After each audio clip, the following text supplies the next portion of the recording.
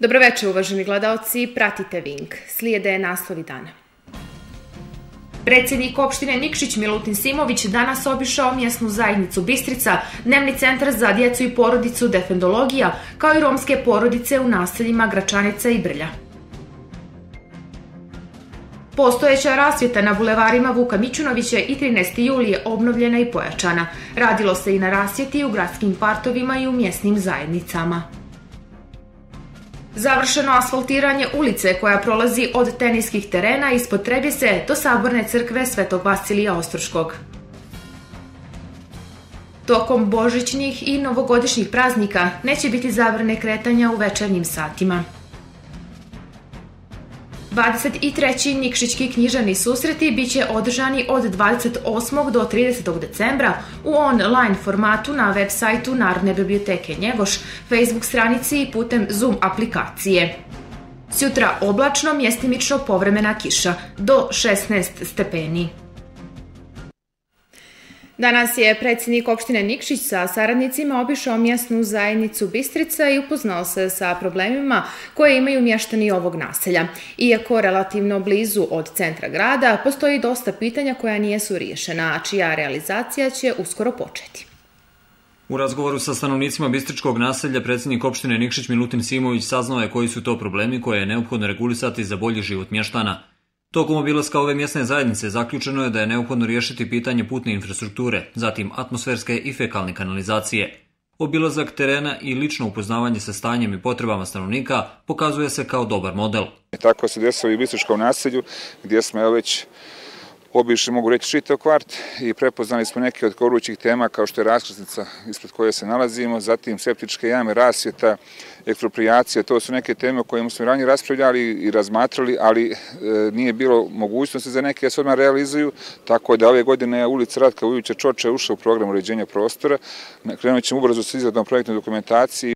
Mještani koji gravitiraju u ulici Ratka Vujovića Čoče, osim lošije putne infrastrukture, imaju problem sa fekalnom i atmosferskom kanalizacijom. Od lokalne uprave očekuju pomoć u saniranju i tog pitanja. Trenutni problemi su problemi kanalizacije, fekalne i atmosferske, baš na ovom dijelu ulice Ratka Ujevića Čoče, gdje se povezuje naselje 43, odnosno Bistričko naselje. Problemi su e, stanovnici baraka, kojima e, veliki problem, veliki problem stvaraju kiše i, i ova, izlivanje te kanalizacije u, u Bistrici i po naselju. E, predsjednik je sagledao sve stvari i na licu mjesta smo se uvidjeli i obećao je da će pomoći. Ostali problemi imamo krovova koji prokišnjavaju u barakama u Bistričkom, Bistričkom naselju. Imamo e, asfaltiranje nekih ulica. Jedna od tema bila je legalizacija bespravno izgrađenih objekata. Objekti koji su na opštinskom zemljištu su zaustavljeni u procesu legalizacije, međutim to ne znači da, da su prava građana oštećena, već samo da je u formalnom zakonskom smislu zaustavljeno rješavanje legalizacije do rješavanja imovinskih odnosa. To nije samo problem ministarskog nasilja, već kompletnog grada gdje su god objekti građani na opštinskom zemljištu. Tako da građani će sva svoja prava imati kao i prije legalizacije, s tim što na ovaj način se omogućava da se oni u katastru upišu kao vlasnici i u nekom narodnom periodu koji neće biti brz, ali će sigurno realizovati da će se naći to rješenje da bude najpovoljnije za njih i za grade. Već u narodnom periodu krenut će se po prioritetima, a to je regulisanje raskrsnice na ulici Ratka Vujovića Čoče, gdje se jedan krak odvaja za parking pivare Trebesa, a u neposrednoj blizini je i carinski parking, pa zbog velike frekventnosti kamionskog saobraćaja, ova tačka mora biti regulisana za bezbjednije i uslovnije odvijanje saobraćaja. Nakon što je nedavno predsjednik opštine obišao teren i upoznao se sa situacijom vezanom za uličnu rasvjetu, pristupilo se rešavanju toga problema. Postojeća rasvjeta na bulevarima Vuka Mićunovića i 13. jula i 13. juli je obnovljena i pojačana, pa je sada bezbjednost pješaka povećana. Radilo se i na rasvjeti u gradskim kvartovima i u mjesnim zajednicama. Opštinske ekipe koje su zadužene za taj posao bile su i na Grahovu, pa je i tamo riješeno pitanje ulične rasvjete. Osim toga, toga iz lokalne uprave je najavljeno da će i u narednom periodu raditi na poboljšanju rasvete svuda gdje to bude neophodno.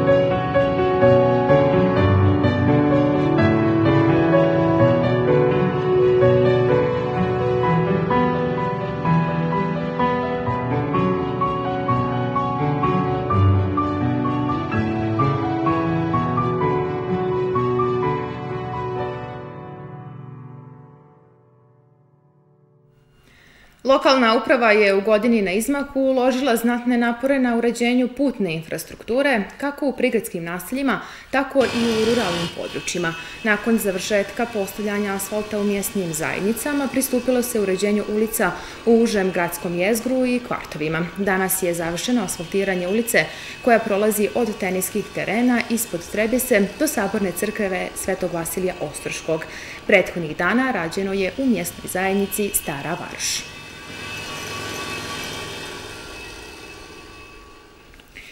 Predsjednik opštine Milutin Simović sa saradnicima danas je obišao i dnevni centar za djecu i porodicu defendologija, kao i romske porodice u naseljima Gračanica i Brlja. Bila je to prilika da pripadnici romske populacije ukažu na svoje probleme. Jačanje podrške i rješavanje problema ranjivih grupa jedan je od ciljeva lokalne uprave. Prilikom današnje posjete Dnevnom centru za djecu i porodicu Defendologija, predsjednik opštine Milutin Simović upoznao se sa načinom rada centra, aktivnostima, ali i problemima. Ovaj centar ima 183 korisnika, a zaposleni se trude da kroz brojne aktivnosti, od obrazovnih, socijalno-psiholoških do higijenskih, utiču na njihov što bolji položaj u društvu. Od obroka za najugroženije, preko usluge tuširanja, šišanja, pranja veša i sušenja veša, za porodice koje dakle, nemaju zadovoljene elementarne uslove, preko psihološke i psihosocijalne podrške generalno ovaj, individualno i grupno za svakog, e, dijete i porodicu i roditelja, ali i zajedno kroz program podrške porodici i neke druge razvijene programe. Također tu su materijalne donacije. E, u prethodnom periodu smo zaista veliki broj materijalnih donacija podijelili. Radimo radioničarski rad, edukativni, kreativni, rekreativni i neke mnoge druge e, edukativne sadržaje, praćenje nastave i bilježimo zaista dobru saradnju sa svim ovaj, institucijama na lokalnom nivou. I posjeta e, predstavnika opštine i lokalne samouprave države zaista nešto što može doprinijeti da se i mi još bolje pozicioniramo u samoj lokalnoj samoupravi, da i druge institucije i organizacije čuju koliko je generalno ovaj problematika kojom se moja organizacija bavi velika i da je zaista ovoj djeci potrebna pomoć i podrška ne samo nas, nego i svih eh, generalno na lokalnom i nacionalnom nivou. Problemi oko stotinu porodica repopulacije koje žive u naseljima Gračanica i Brlja odnose se na infrastrukturu, instalacije, rasvjetu, ali i komunalni otpad. Podrška lokalne uprave znači mnogo, a partnerski odnos biće cilj i u narednom periodu. Najveći su problemi infrastruktura. To je e, smeće, ima putivi da se radu, to je taj problem. Danas nas je posjetio predsjednik opštine gospodin Simović, kome se zahvaljujemo što je došao lično da vidi koji su problemi i dobili smo odgovor od njega da će da vidi opština Nikšić da, se, da nam riješi ove probleme što imamo u romsko naselje Brlja. Nadam se da ovakve akcije će da bude i u ostalim romskim naseljima, da se vidi, da opština vidi koji su romskih problemi i što može da se riješi. To je vezano za integraciju e, Roma i Gipćana u savremenom društvu. Želja lokalne uprave je da i sa ovom najranjivijom i najviše marginalizovanom zajednicom ima dobru komunikaciju i saradnju u kontinuitetu. Tome će doprinijeti i predstavnik te zajednice, Miljajn Delija, angažovan u Sekretarijatu za kulturu, sport, mlade i socijalno staranje. Ja ću se potruditi ponovo da obilazim sva naselja, da opišem sve probleme koje postoje, da se ti e, problemi slijede opštini Nikšić i nadamo se da ćemo ovaj riješiti koliko je toliko moguće. Saradnja korisnika je dosta bitna, moraju oni da se uključe u sve ovo, jer bez njihove pomoći nećemo ništa moći uraditi. Predsjednik Simović istakao je da će opština voditi računa o svim kategorijama u društvu kako bi svi građani imali što bolje i kvalitetnije uslove za život. Potrebno je zajedničko zalaganje da bi i ugrožene grupe imale ista prava. Pohvaljena je namjera opštine Nikšić i predsjednika Milutina Simovića da se intenzivnije posveti rješavanju problema i inkluziji Roma u lokalnu zajednicu.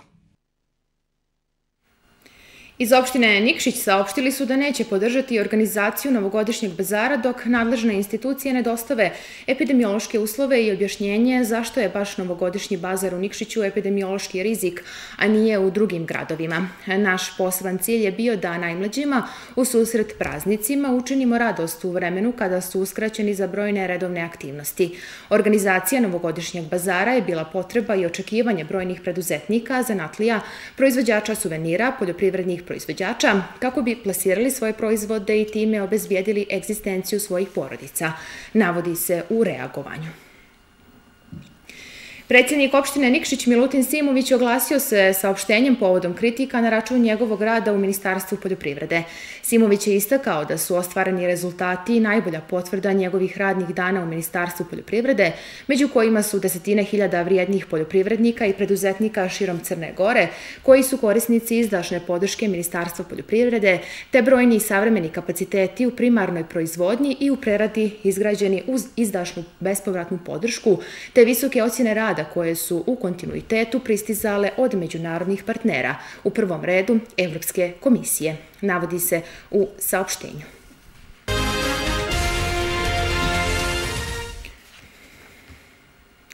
Laboratorije Instituta za javno zdravlje i druge laboratorije koje se bave PCR diagnostikom novog koronavirusa su od posljednjeg presjeka završile PCR analizu 2552 uzorka na koronavirus, među kojima je ukupno registrovano 520 novopozitivnih slučajeva infekcije, od čega u Nikšiću 60. Prijavljena su i dva smrtna ishoda od posljedice infekcije, ali i oporavak kod 330 pacijenata. Ukupan broj trenutno aktivnih slučajeva je 9015. A u Nikšiću je životno ugroženo 18 osoba pozitivnih na COVID-19. U opštoj bolnici trenutno je hospitalizovano 99 pacijenata. Životno ugroženi se nalaze u u jedinici intenzivnog liječenja, a na respiratoru trenutno nema pacijenata. Ostali hospitalizovani su stabilnih vitalnih parametara i trenutno se dobro osjećaju. Saopšteno je iz Nikšićke opšte bolnice. Tokom božićnih i novogodišnjih praznika neće biti zabrane kretanja u večernjim satima. Tačnije, naredbama Ministarstva zdravlja za sprečavanje širenja koronavirusa predviđeno je da se ukida policijski sat koji počinje od 22 sata do 5 sati narednog dana. To je danas objavljeno, e, objavljeno u službenom listu.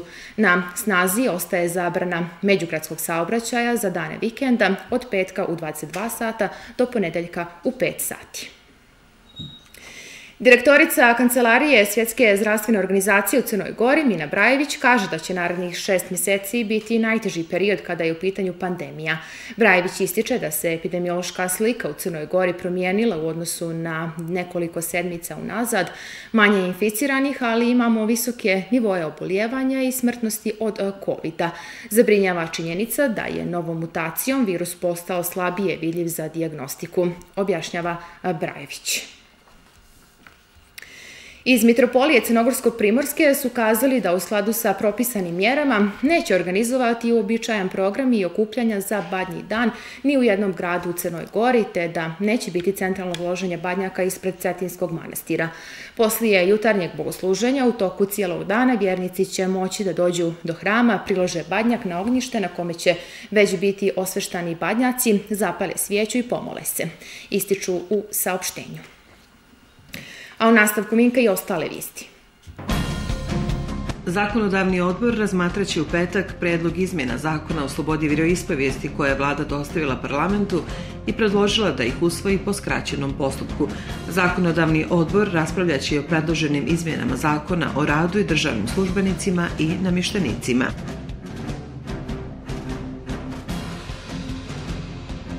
Zaštitnik ljudskih prava i sloboda Ciniša Bjeković pokrenuće postupak kako bi utvrdio da li je Ministarstvo zdravlja novim mjerama protiv koronavirusa prekršilo ljudska prava.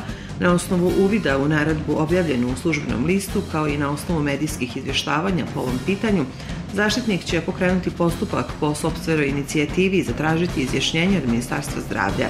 Naš postupak u ovom slučaju razlikuje se od ranijeg stava kada su pitanju navedene mjere, piše u odgovoru zaštitnika. Za sindikat uprave Crne Gore prioritet je zalaganje za povećanje zarade i rješavanje stambenih pitanja zaposlenih u javnom sektoru, na osnovu čega je i započeo pregovore sa vladom u prethodnom sazivu, a nastavit ih i sa novom. Pojavom epidemije koronavirusa, kako se navodi u saopštenju, početak pregovora je zaustavljen, a dodatnu nepovoljnu situaciju vezanu za ove pregovore izazvala je ekonomska kriza. Sindikat uprave u svom programu kao prioritet ima i donošenje novog granskog kolektivnog ugovora za oblast uprave i lokalne samouprave. U prvih šest mjeseci pred sudovima za prekršaj u Crnoj Gori registrovano je 1300 slučajeva nasilja u porodici, a za čitavu 2019. bilo je 1700 prijava, kazao je na sjednici odbora zaštitnih ljudskih prava i sloboda Siniša Bjeković.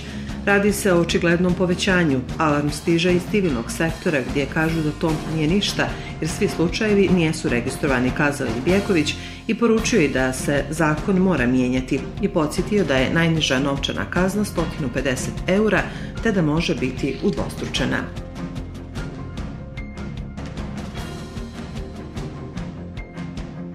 Ministarstvo unutrašnjih poslova je u ovoj godini donijelo 108 rješenja o prijemu u crnogorsko državljanstvo preko programa ekonomskog državljanstva. Do sada je tim licima izdato 39 pasoša. Rješenja su donijeta u skladu sa članom 12 zakona o crnogorskom državljanstvu za koje je Agencija za investicije sprovela prethodni postupak u vezi posebnog programa ulaganja od posebnog značaja za privredni i ekonomski interes Crne Gore. Program ekonomskog državljanstva je počeo 2019.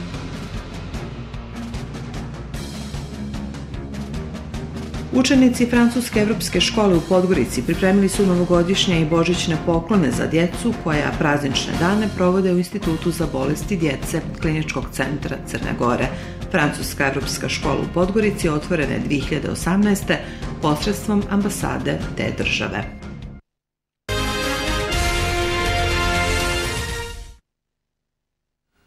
23. Nikšićki književni susreti biće održani 28., 29. i 30. decembra, a zbog aktuelne epidemiološke situacije realizovat će se online na web sajtu Narodne biblioteke Njegoš, Facebook stranici i putem Zoom aplikacije. I ovoga puta manifestacija sadrži dva segmenta, za djecu i odrasle. Uprkos situaciji koju je izazvao virus korona, javna ustanova Narodna biblioteka Njegoš uložila je dodatne napore kako bi se prestižna manifestacija Nikšićki književni susreti ipak održala. Događaj je mapirao grad Potrebisom kao kulturni i umjetnički centar, pa je na organizatorima i veća odgovornost da se manifestacija održi pa i u online formatu 28., 29. i 30. decembra, saopšteno je na preskonferenciji. Jedno od glavnih obilježja susreta čini nezaobilazan dječji segment – Ovoga puta smo se odlučili da djeca iz svih osnovnih škola, kako iz gradskog područja, tako i ruralnog, pišu na temu zavičaj. Ti, veliki broj radova je pristigao na, na, na temu ovaj, zavičaja, a prešenik eh, žirija bila je eh, ovaj, Blaga Žurić, prepoznatljivo ime kad je pisana riječ u, kad je riječ u pitanju, jer to je neko čije knjige su u školskom kurikulumu. Ono što je zanimljivo isto kad je dječji segment u pitanju, to je da će iza nove godine eh, objavit ćemo časopis ili možda i mozaik kao zbirku poezije, upravo sve e, ovaj, i poezije i proze objavljenih radova. Tako da će djeca sigurno sva komplet biti zadovoljna e, i upamtit će ove književne susrete. Kada je u pitanju segment za odrasle, prve večeri planirano je predstavljanje knjige Ratka Boževića Povratak bliskosti, čiji je izdavač javna ustanova Narodna biblioteka Njegoš, a koja sadrži 49 crnogorskih istaknutih ličnosti na polju filma, slikarstva, književnosti, koji su ostavili neizbrisiv trag na kulturu. Razgovor sa profesorom Božovićem vodiće Željko Rutović. Drugo veče ćemo predstaviti Jovicu Aćina, dobitnika prošlogodišnje njegoševe nagrade. Razgovor sa Jovicom Aćinom će voditi Vanje Kovačević. I naravno treće veče smo malo drugačije osmislili, to je veče Nikšiški pjesnici i prijatelji i dalje će e, nositi taj naziv, ali ovoga puta drugačije koncipirano. E, predstavit ćemo zbirku Ljerke Petković koja je već izašla iz e, ovaj našeg izdavaštva, a to je dobitnica prošlogodišnjih Nikšiških književnih susreta. I ove godine smo objavili konkurs za ovaj, či, gdje nagrada će biti objavljivanje zbirke poezije. Međutim, ovoga puta smo imali veliki problem koga da izaberemo jer je pristikao veliki broj radova i na mnogo većem i kvalitetnijem nivou od prošle godine. I ove godine biće organizovana posjeta dječijem odjeljenju opšte bolnice Nikšić, osnovnoj školi Olga Golović, dnevnom centru za djecu sa smetnjama u razvoju, kao i javnoj prečkolskoj ustanovi Dragan Kovačević. Trodnevni program manifestacije Nikšićki književni susreti biće prezentovan na web sajtu javne ustanove Narodna biblioteka Njegoš, Facebook stranici i putem Zoom aplikacije, pa će ljubitelji pisane riječi ne samo u Nikšiću i Crnoj Gori, već i šire moći da uživaju u raznovrsnom i kvalitetnom sadržaju. U okviru Nikšićke kulturne scene javna ustanova Zahumlje organizovala je tribinu Kultopis. Gost programa bio je istoričar Živko Andrijašević, a moderator novinarka Tanja Pavićević. Istorija je učiteljica života i kao svaka učiteljica zahtjeva učenje sa razumijevanjem, a ne samu reprodukciju znanja. Površnost vodi pogrešnim zaključcima i zato je neophodno činjenice tretirati u širem kontekstu, a ne interpretirati i proizvoljno tumačiti. Upravo nerazumijevanje dovodi do polarizacije u shvatanjima i prihvatanjima određenih istorijskih zbivanja, kao što je slučaj sa 1918. godinom i Podgoričkom skupštinom, koja je prema zvaničnom stavu države čin okupacije zemlje. Tome je suprotstavljeno mišljenje koje taj događaj tumači kao vid oslobođenja. Istoričar Živko Andrijašević to ovako objašnjava. Kako neko smatra oslobođenjem ukidanje sobstvene države i dinastije? I neko to smatra oslobođenjem i nekakvim velikim iskorakom. To samo psiholog može da objasni kakva je to greška i kakva je to podsvjesna ili svjesna ili ne znam kakva patološka mržnja. Znači, to je samo zadovoljstvo što je nestala jedna e, država koja je starija od drugih država, što je nestala jedna dinastija koja je starija i uglednija od drugih dinastija i što je došla neka koja je ovaj, vraćena iz nekog izbjegličkog kampa na vlast i nakon e, deseta godina dovedena da ovaj, vodi tu državu koja je 1918. godine, godine stvorena. Andrijašević je podsjetio na ulogu crkve u Crnoj Gori, na duhovno i svjetovno ustrojstvo vladavine Petrovića, na prekid te tradicije dolaskom na vlast knjaza Danila i kasnije njen status u okviru komunističkog sistema. Svi su znali da je crkva je jedna vrlo merkantilna organizacija koja e, voli da skuplja imanja koja neko ostavlja u nasljeđe, koja veoma brine o zemaljskom blagu, više možda nego o ovaj, prostorima nebeskim. Tako da crkva nije bila od naročitog javnog ili nekog drugog ugleda, ali ni od političke moći. U novijoj istoriji crkva doživljava preobražaj. Iz pasivnog posmatrača prerasta u aktivnog učesnika i kreatora društvenih promjena. U prilog tome svjedoče i nedavne opšte narodne litije, organizovane pod sloganom Ne damo svetinje. Te svetinje je sasvim suvišno braniti na taj način.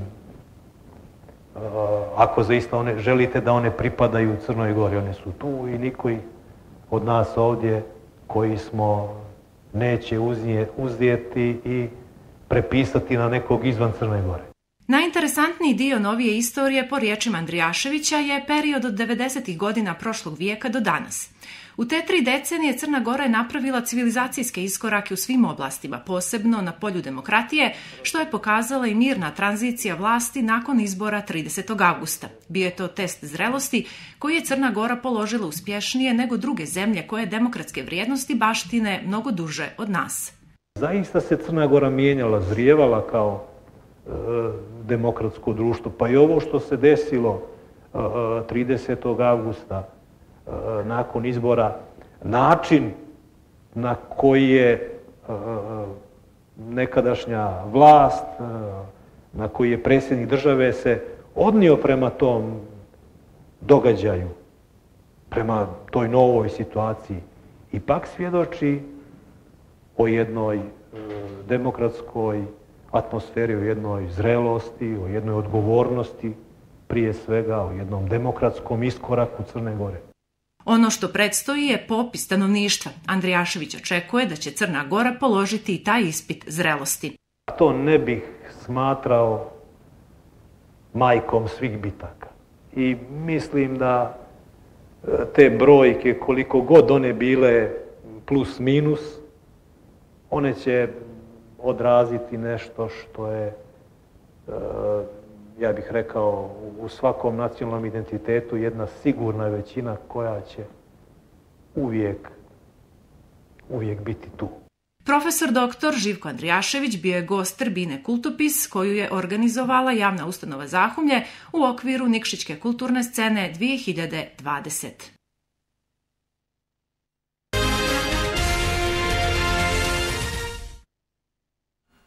A televizija Nikšić završila je snimanje novogodišnjeg programa, pa će gledalci imati priliku da u novogodišnjoj noći uživaju u više od 5 sati kvalitetnog muzičkog programa crnogorskih izvođača. Njegujući tradiciju i kvalitet, odabran je zanimljiv repertoar dobro poznatih hitova zabavne i crnogorske izvorne pjesme. Pogledajte dio atmosfere sa snimanjem. Zbači slobodno, jer sve je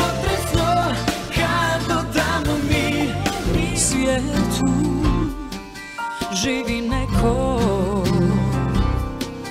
kao ja. Dotakni me vjetrom, daj sve su ovo nek slatke riječi. Za ono što bi srce htjelo reći. Ne pitaj kolika tuga može da se izdrži? Ne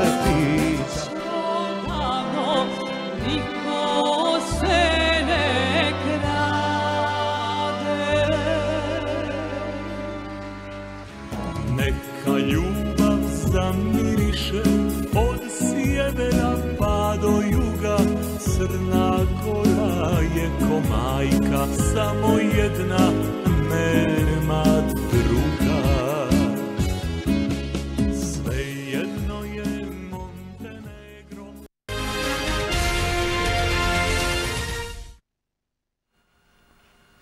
Sjutra promjenjivo do potpuno oblačno, mjestimično povremena kiša. Ujutru na sjeveru pokotlinama magla. Jetar južnih smjerova mjestimično umjeren do jak. Najviša dnevna temperatura do 16 stepeni. Na samom kraju još jednom naslovi dana. Predsjednik opštine Nikšić Milutin Simović danas obišao mjesnu zajednicu Bistrica, dnevni centar za djecu i porodicu Defendologija, kao i romske porodice u naseljima Gračanica i Brlja. Postojeća rasvjeta na bulevarima Vuka Mićunovića i 13. julije obnovljena i pojačana. Radilo se i na rasvjeti u gradskim partovima i u mjesnim zajednicama. Završeno asfaltiranje ulice koja prolazi od teniskih terena ispod Trebise do Saborne crkve Svetog Vasilija Ostroškog. Tokom božićnih i novogodišnjih praznika neće biti zabrane kretanja u večernjim satima. 23. Nikšićki knjižani susreti biće održani od 28. do 30. decembra u online formatu na web sajtu Narodne biblioteke Njegoš, Facebook stranici i putem Zoom aplikacije. Sjutra oblačno, mjestimično povremena kiša, do 16 stepeni. Uvaženi gledalci, pratili ste Vink. Opširnije o svemu čitajte i na našem portalu naratnk.me. Hvala na pažnji.